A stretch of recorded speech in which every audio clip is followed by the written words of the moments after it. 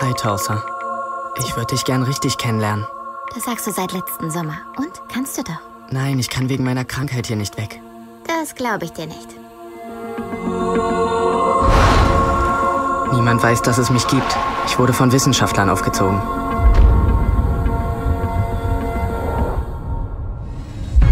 Lasst uns den Jungen nach Hause holen. Das ist zu riskant. Stell dir vor, ich komme zu dir.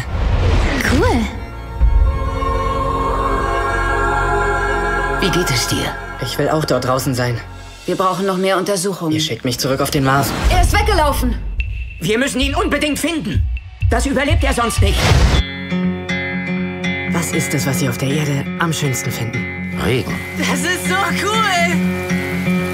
Weißt du, warum er weggelaufen ist? Er ist auf der Suche nach einem Mädchen. Au! Du hast auf keine meiner Nachrichten reagiert. Ich hatte doch gesagt, dass ich zu dir unterwegs bin. Sieben Monate lang? Meine Mutter war eine Astronautin. Ich wurde auf dem Mars geboren. Ich bin unterwegs mit einer irren Person. Was ist das? Das ist mein Pferd. Wohin fahren wir? Du wolltest doch die Welt sehen. I've been getting used to waking up here. Anywhere I go, there you are. Du musst sofort zurückkommen, Gardner! Nein, das ist mein Leben.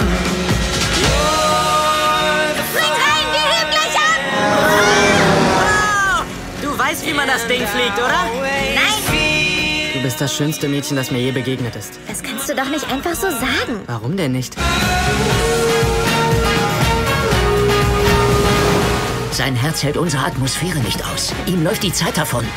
Ich hatte solche Angst, nicht zu wissen, wie man ein Mensch ist. Du machst mich zu einem Menschen, Torsa. Was ist das, was du auf der Erde am schönsten findest? Das bist du, Gardner.